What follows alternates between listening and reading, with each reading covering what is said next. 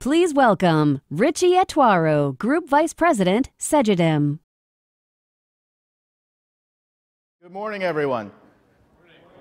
My name is Richie Etwaru, and this is my third time at this conference, and I'm really excited to be here, so thank you for listening. Next 15 to 20 minutes, I'm going to take you through a condensed form of a journey that I'm going to take on for the next decade. I don't know whether it was uh, financial uh, challenges or parenting style, but my parents didn't believe in uh, fun toys. They believed in books. So around seven, I got what I thought was my first fun toy, a 100-piece puzzle. Huge smile. I was uh, finally something I can play with. So like every child, uh, you know, I fixed the puzzle over and over and over. And what I'd done is every time I fixed the puzzle, I'd suck the fun out of the puzzle because it gets easier to fix every time. And so my first invention was not an innovation. I invented the, you know, begging for myself. And I begged for a second puzzle. And of course, I got a second one, and I got to the same fate. You know, you get bored over it if you fix it too many times. And so I really started to think about, you know, how am I going to get this third puzzle? Because begging is not working. And my parents said, listen, you're going to have to get fun out of the two puzzles that you have somehow. So I started to innovate. First thing I did was I took the two puzzles, put it in a big bag, shake it together, and then fix them simultaneously. You get a little bit of fun out of that. I eventually started to flip it over, draw my own pictures on the back, you know, try to reassemble them. That was very difficult. But those were just evolutionary innovations, right? Uh, sometime before my eighth birthday, I had done my first revolutionary innovation. South America in Guyana, I had a bicycle and a bag, and I'd set up my first ecosystem. This was not a product, this was an industry. This was not the Airbus, this was the Boeing jetliner. And so a lot of things have happened since then. I did a few successful startups, a few unsuccessful ones, a few successful transformations of large companies, a few unsuccessful ones, and some good investments and some bad investments. And here I am in pharmaceutical studying the industry, and I landed on the biggest puzzle I've ever landed in my life. Why don't we have a prevention industry. And there's been, you know, there's been some, uh, there's been some progress there in prevention. There's been, you know, there's buyer demand starting to be signaled. We know that the current model is broken, but why haven't we solved for this really, really big problem of prevention? And technology is not the only solution, you know. Technology promised us really big, um, really big changes, and we got Facebook and space travel out of it, right? Um, so I am going to spend the next decade of my life using this company called the Human API to force the prevention industry into existence. And I'm going to take you through how I'm going to do that. Here's what I mean by a prevention industry. I'll give you a metaphor before we get started. When was the last time you saw a car on the side of the street with the alternator burnt out? Anybody?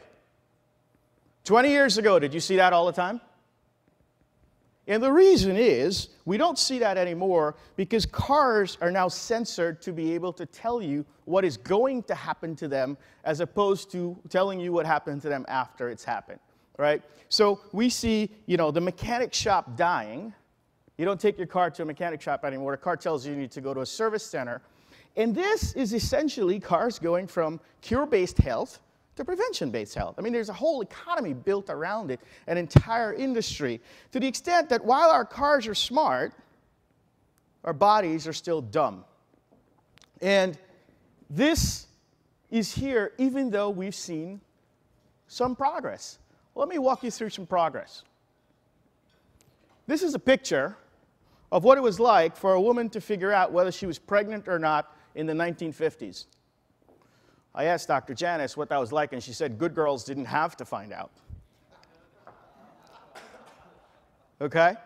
Um, but anyway, you make a call, you go to the doctor, you make an appointment, you sit, you wait, you pee in a cup, send it to a lab. It takes about three weeks to figure out whether you're pregnant or not. And then you have to come home and cook dinner and explain to your husband what happened. Today, we have sold billions of lab in a box inventions with higher precision, higher convenience, and higher cost. So we have all these measurements about ourselves that we used to go to doctor's offices to take, but we're not doing anything with it. This is progress, right? It's one step in the right direction of, of the cars, you know, having, having information about themselves. Let's talk about number two. How many people have Fitbits or Jawbones on? Quantified self. We can now listen to our bodies in ways that we never have. Wearable, digestible, implantable, proximity, we're able to convert our body's analog physiology into digital data. Progress is being made. There are not billions of these, but they certainly are hundreds of millions. The third piece of progress that's being made is medical printing. There are millions of these. Dentists are medical printing, hips are being printed. We're seeing drugs be printed. We start to see cells be printed. And these are not your, um, these are not your MakerBot um, type printers. These are medical printers, yet we're not seeing the type of prevention industry that I am describing. You'd imagine that when all three of these things are moving together, there'll be some sort of point of inflection where we would go from a product based mentality to an industry based mentality. You think that we would start to put together the rules of engagement for a prevention marketplace where buyers and sellers of prevention product can transact. Right? But no, we're not there. And what's driving today, or what's driving me at least, to take as my next decade's goal, I can't say life goal, which is to articulate and postulate and force the prevention industry into, into uh, um, existence, is the fact that for the first time, health data had gone from a design of being a system of record to a design of being a system of engagement. Finally, I get my health information and it makes me want to do something about it. Think about my Fitbit. I paid 99 bucks for it. It's changed my health behavior, but I can't charge my insurance company back for it. Shouldn't I be able to? Fantastic. If a marketplace was actually existent, here's what it should look like. This is a picture of sort of the rings of healthcare. In the middle, you see Cure. There's a lot of cure-based companies out there that are pharmaceutical manufacturers and medical device manufacturers in the entire ecosystem. Then there's cure around that. I'm in the pharmaceutical industry today, and there's the patent cliff and regulatory landscape and all the strains that are happening to this industry. And inside, instead of looking at prevention as an economic platform, they're trying to find more cure based drugs. Instead of looking at prevention, they're trying to find more cure based drugs. If this industry existed, we ought to be able to go from pharmaceuticals to preventaceuticals. If the industry existed, we should have censoring. When you think about prevention, I, I presume everyone here is vaccinated, right? Anyone who's not vaccinated? The first forms of prevention was vaccination. Today, we have sensors that we implant in human beings after we have identified that they're sick so that we can listen for deterioration. Why not use things like 23andMe and the rest of technologies out there to get a predisposition of a young child and then censor them early as modern vaccination so that we can listen forward for deterioration? a vibrant prevention industry would have censoring. It wouldn't be reactive, it would be proactive.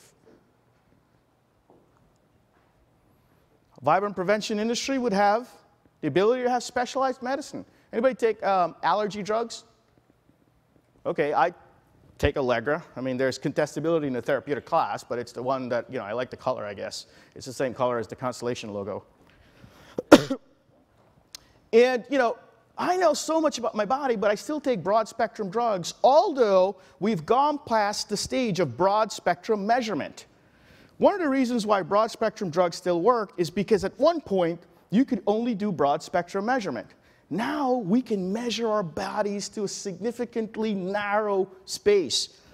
Regardless of how much pollen there was that day, how much I'm sneezing, my body's metabolism, the only thing I can get is about 80 milligrams or 160 milligrams, I think, of, of, the pill. Some days I know that I should take a rasp iron and just file the pill down because I don't need 80, I really need 73.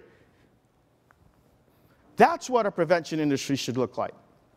Now, we've got this progress, we don't have this, and we are heading here. Gentlemen, the clicker is not working. Who do you think these people are? You guys kind of saw it earlier. These are hypochondriacs, my friends. These are hypochondriacs. These are people that are using the information to create added strain on the already strained medical system because we're giving them information that is not useful for them. It's not creating the type of outcome that we would want. It's not creating the type of experiences that we would want. They're running to doctors because they think they've self diagnosed. We're at a point now where most medical doctors have to undiagnose people, and the doctor's opinion becomes this first, second opinion. And that's because we're going about it in a completely wrong way. We're still thinking about products, we're not thinking about an ecosystem. We're still thinking about a platform, we're not thinking about an industry. We have to be able to create the rules of engagement. We have to go in a completely opposite direction if we wanted to get away from the current path that we're on. Here's the path that we're on.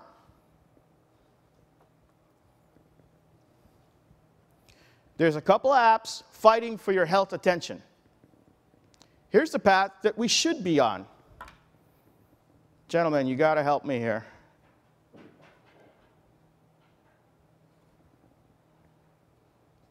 The clicker's not working. Okay. I'll try the clicker. Bear with me, folks. It's not my first time on the rodeo, but this horse is rogue. Don't worry about it. I'll just stand behind here and do this. This is the trajectory that we're on and we need to be moving in a completely opposite direction. Here's what I mean by that. First, we need to get the providers in. Second, we need to start thinking about your care circle and your health information systems. Next, we need a patient personalization, we need identity, we need privacy. We need a clinical computing cloud to be able to look at this data in a, in a, in a very cognitive computing mindset but in self, a self-healing way at the, same at the same point. What we know about health data about our bodies, that it's not perfect. Okay, my Fitbit ran out of battery last night. I don't want my health system to start notifying me because I think I haven't been walking for five hours. Okay? Well, you need to be able to put the type of computing here that heals the information by itself.